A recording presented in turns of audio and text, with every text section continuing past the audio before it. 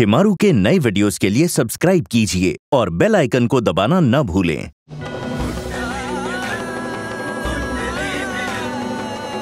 मेरे कुंडली दोष के कारण जिस भी लड़के से मेरी पहली शादी होगी वो नब्बे दिन में मर जाएगी। तुम ये तुम ये बात जानती थी कि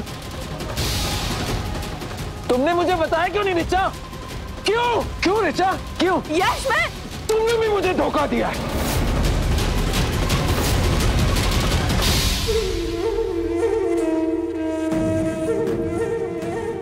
जाओ।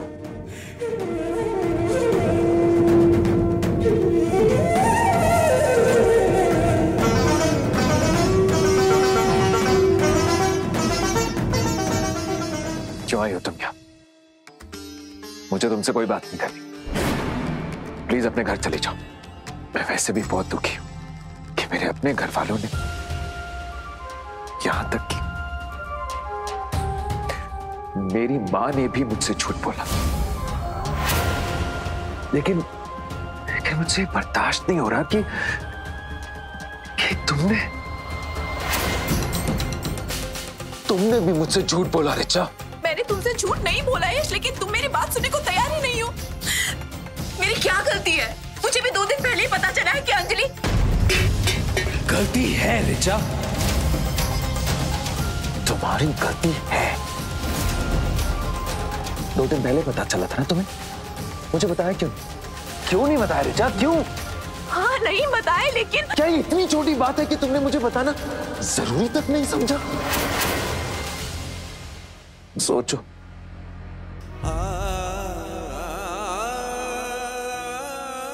अट्ठाईस दिन में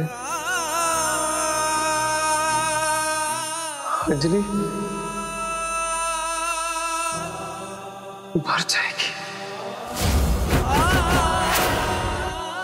और उसकी मौत की जिम्मेदार सिर्फ़ मेरी कुंडली नहीं होगी। हल्का आंटी बड़ी दादी, मम्मी के साथ साथ तुम भी हो, रिचा।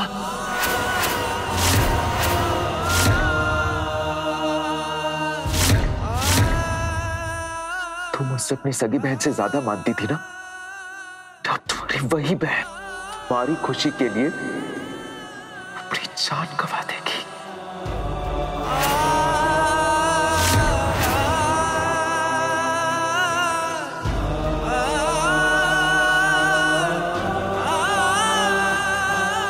अंजलि की मौत का बोझ अपने दिल पर रखकर क्या कभी खुश रह पाएँगे, रिचा?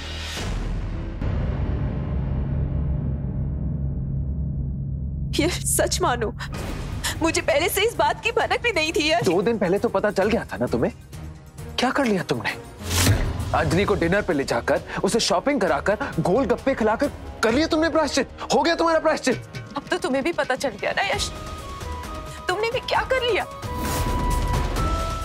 अब चुप क्यों हो? बताओ यश क्या किया तुमने?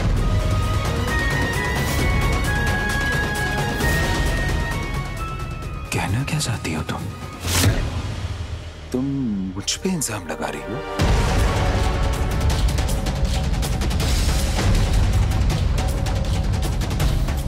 मुझे नहीं लगता जो कुछ भी हो चुका है उसकी बुनियाद पे हम अपना रिश्ता खड़ा कर पाएँगे।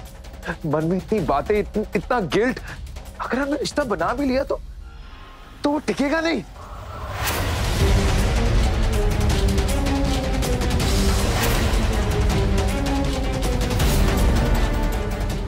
क्या तुम ये रिश्ता तोड़ने की बात कर रहे हो यश?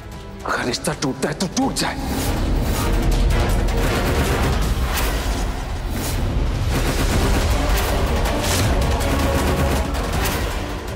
तुम ऐसा बोल भी कैसे सकते हो यश?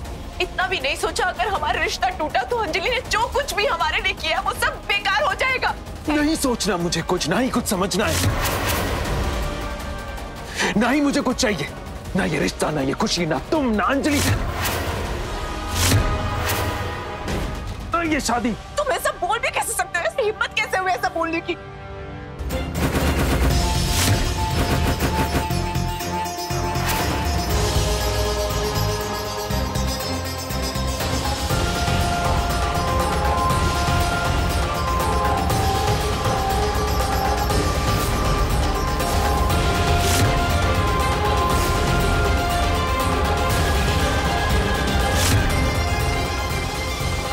रही थी रिचा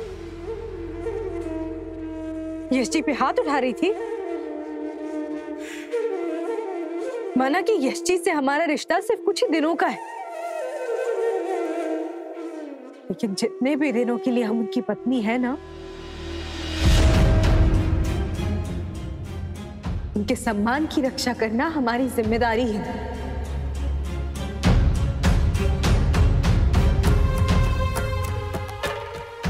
तू जानती है ना कि हम कभी अपनी ज़िम्मेदारी से पीछे नहीं हटते।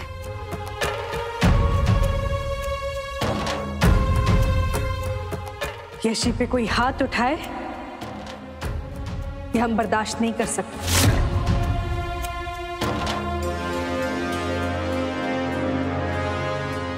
कभी भी।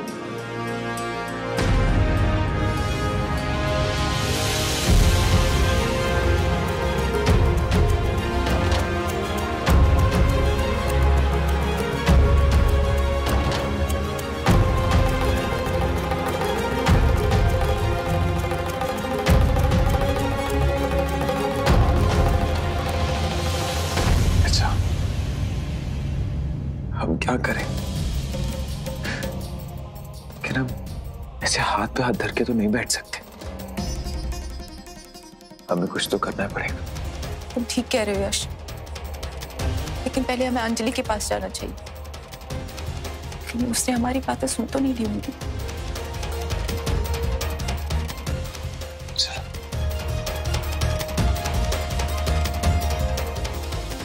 गोपाल यशी और रिचा बहुत प्यार करते हैं एक दूसरे को। कुछ ना कुछ तो ऐसा हुआ है उन दोनों के बीच, जिसकी वजह से पूरा घर परेशान है। और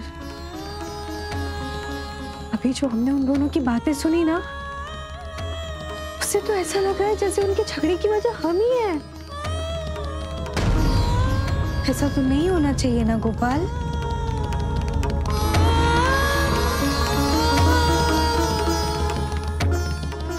अब हमारे पास सिर्फ़ 28 दिन और बचे हैं। हमें किसी भी तरीके से यशजी और ऋचा के बीच की गलतफहमी को दूर करना होगा, गोपाल। ताकि खुशी खुशी उन दोनों की शादी हो जाए और ऋचा इस घर में बहू बनकर आ जाए। गोपाल, आखिर उन दोनों की खुशी के लिए ही तो हमने नब्बे दिन की शादी की है।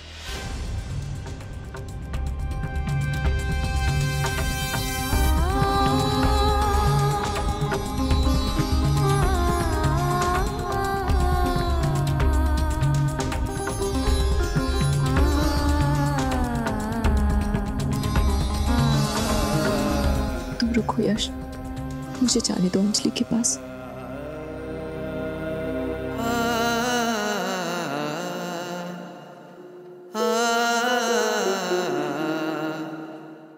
सॉरी रिचा हमारी वजह से तेरे और यश जी के बीच इतना कुछ हो रहा है। सच मान। हम कभी भूल से भी तेरे और यश जी के बीच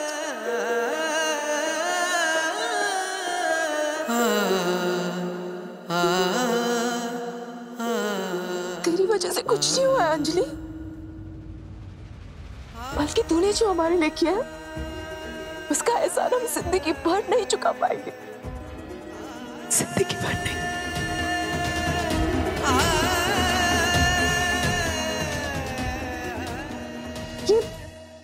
एहसान मेहसान की बातें क्यों कर रही है, रिचा?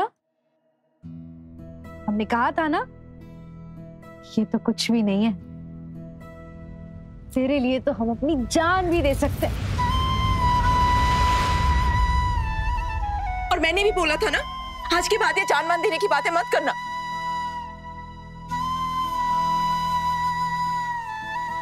ठीक है ठीक है।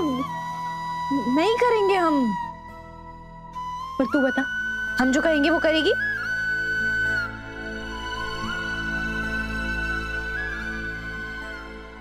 जो तू कहेगी वो करूँगी।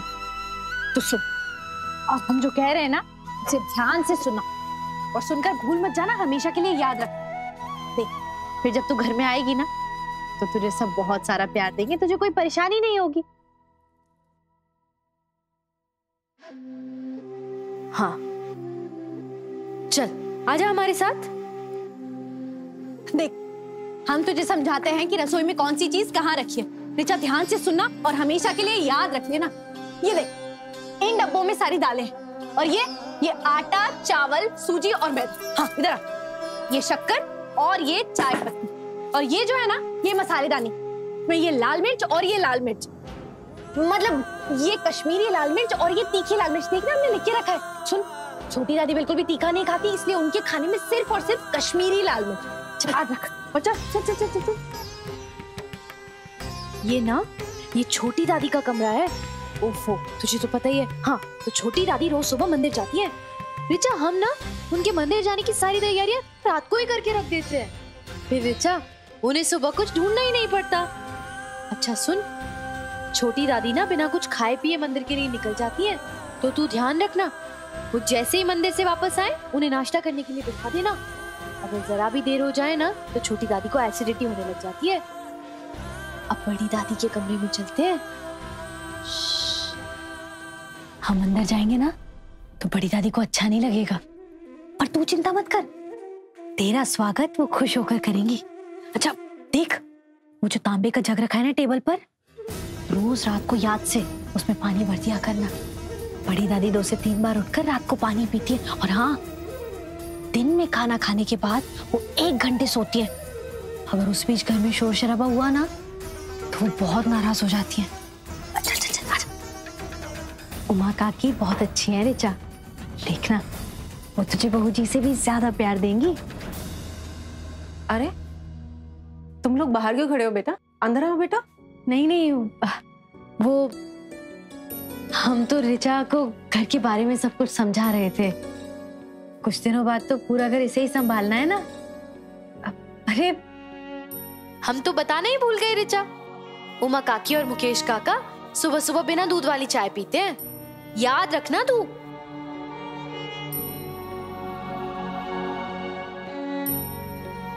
वैसे, मामी जी तो अपना ज़्यादातर काम खुद ही करती हैं, लेकिन तू ना गुलकन के लिए बहुत सारी खाने पीने की चीज़ें मंगवा के रखना, वरना वो बेचारा दुखी हो जाएगा। हमारी नब्बे दिन की शादी का अग्रीमेंट यहाँ देखिए। हमने इस पे साइन कर दिया है। इसलिए आपके पास भी इनकार करने का कोई कारण नहीं है।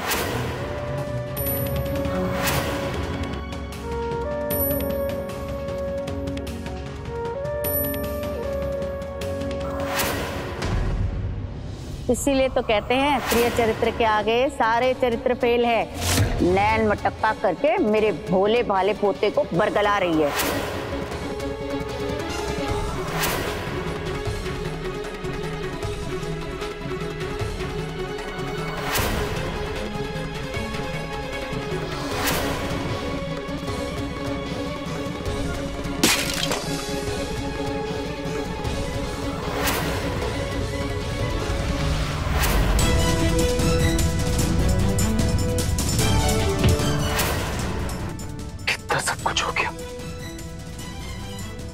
इतनी बार अंजलि की जान पे बनाई।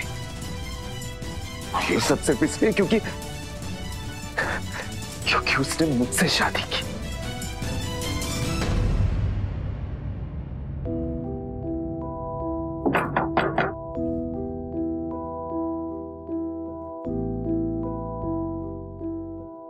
और ये रहा इस घर का सबसे खास कमरा। क्योंकि ये तेरा अपना कमरा जो बनने वाला है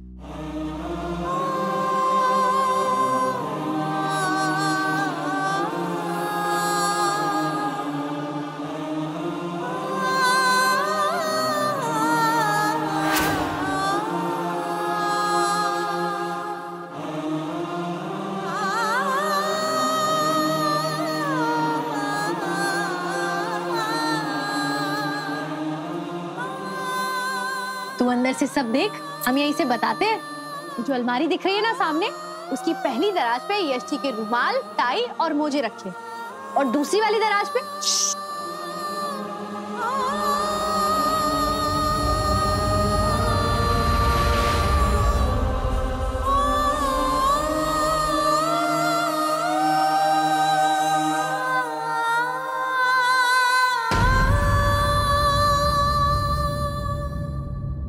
दरवाजे के बाहर से नहीं, कमरे के अंदर आकर बता अरे नहीं नहीं।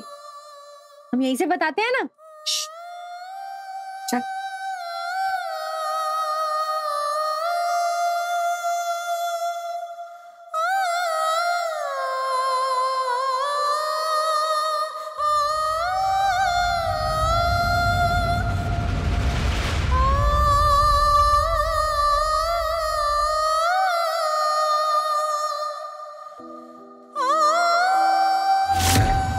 चल, अब आराम से बता। देख, कपड़े तो सामने ही रखे, तुझे दिख ही जाएँगे। लेकिन ये ध्यान से सुन, यक्षी की सारी घड़ियाँ ना यहाँ इस दराज में होती है। यहाँ पे उनके ईयरफोन्स मोबाइल चार्जर और लैपटॉप चार्जर ध्यान से सुन ले रिचा, जरा सा भी इधर उधर हो जाए ना तो हल्ला मचा देते हैं।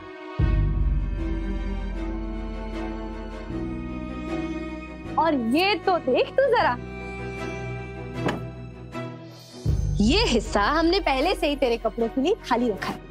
जब तू आएगी ना तो तुझे अपना सामान रखने में कोई परेशानी नहीं होगी।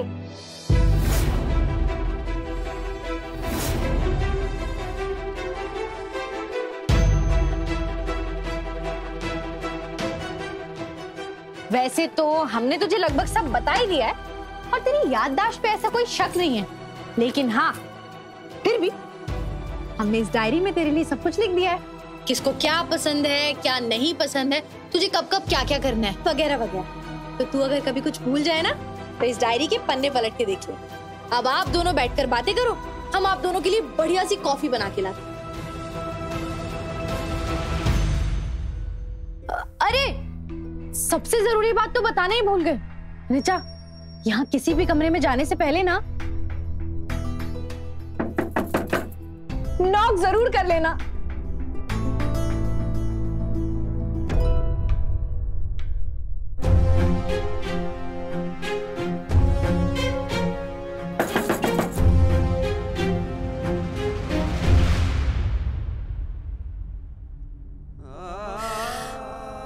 कितना कुछ करे अंजलि मेरे लिए।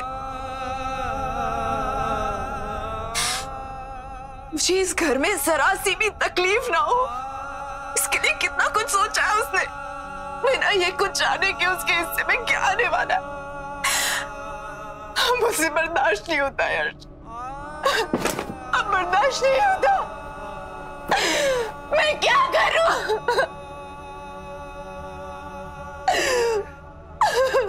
रिचा मैंने सोच लिया मैं क्या करना बड़े दादू ने मेरी कुंडली दोष के बारे में बताया था ना। अब इससे बचने का रास्ता भी वही दिखाएँगे। कुछ तो करना पड़ेगा उन्हें। हम ऐसे हम ऐसे अंजलि को मरते हुए नहीं देख सकते। हम हम कल सुबह बड़े दादू के पास चले जाते। तुम बिल्कुल ठीक कह रहे हो, यश। हमें कोई ना कोई रास्ता तो निकालना ही पड़ेगा। मैं कल सुबह आती हूँ तुम्हारे पास।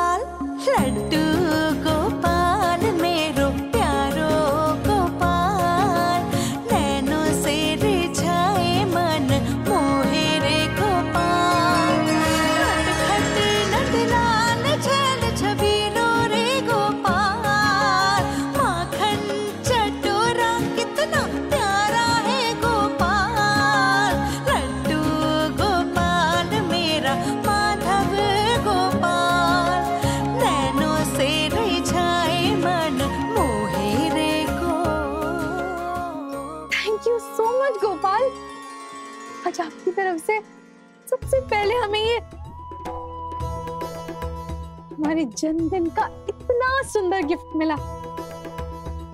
हम जानते हैं, वो रिचा है ना, वो भी दौड़ी दौड़ी चिल्लाती हुई आएगी happy birthday Anjali happy birthday Anjali और माई, हम शायद नहीं आ पाएँगे। लेकिन हमारे लिए हलवा ज़रूर बनाएँगी। आज तक ऐसा नहीं हुआ। अंजलि का जन्मदिन हो और हमने मूंग की दाल का हलवा ना बनाया। कितना खुश होकर खाती है हाँ हिमांशु ठीक है फिर तुम आगरा निकल जाओ। और जेके स्वीट्स के फ्रेंचाइजी के जितने भी पेपर वर्क हैं उन्हें पूरा करके ही आना। ठीक है? यहाँ की चिंता मत करो मैं सब देख लूँगा।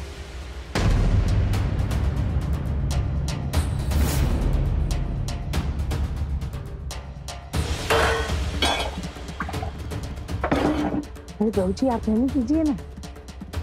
आप बैठिए, हम आपके लिए चाय बना के लाते हैं। कोई ज़रूरत नहीं। भूली नहीं हूँ मैं, कैसे तुमने रिचा के पापा के आगे आग उगली थी? कि मैं अत्याचारी हूँ? हम्म? हमेशा से अंजलि पे अत्याचार करती आ रही हूँ। थप्पड़ पड़वा के बहुत सुकून मिला होगा ना तुम्हें हम्म? बोल, बोलते क्यों नहीं? जबान पे छाले पड़ गए हैं तेरे हाँ? अलका ये क्या कर रही हो तुम? हाँ हाँ। अब तो मेरी हर बात पे आपको खोट नज़र आएगा ना? सब समझती हूँ मैं।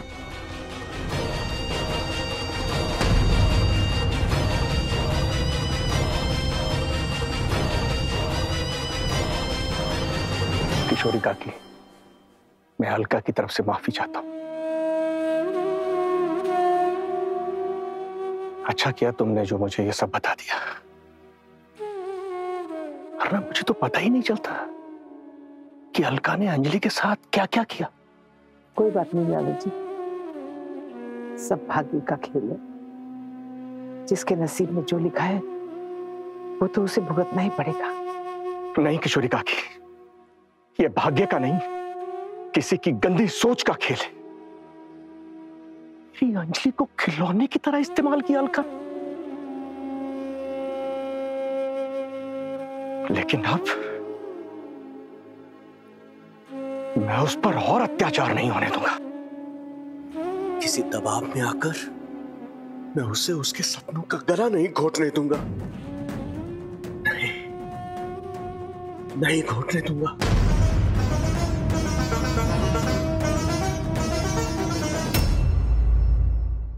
कितना कुछ करे अंजलि मेरे लिए। मुझे इस घर में जरा सी भी तकलीफ़ ना हो इसके लिए कितना कुछ सोचा है उसने।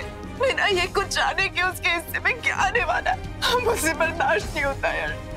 मैं क्या करूँ? हमारे यहाँ रुकने से हमारी रिचा की खुशियाँ जुड़ी हैं। उसकी खुशी के लिए तो हम अपनी जान भी दे सकते हैं लाला जी ये हमारी रिचा की होने वाली ससुराल है लाला जी सत्ताईस दिन तो रह ही गए हैं।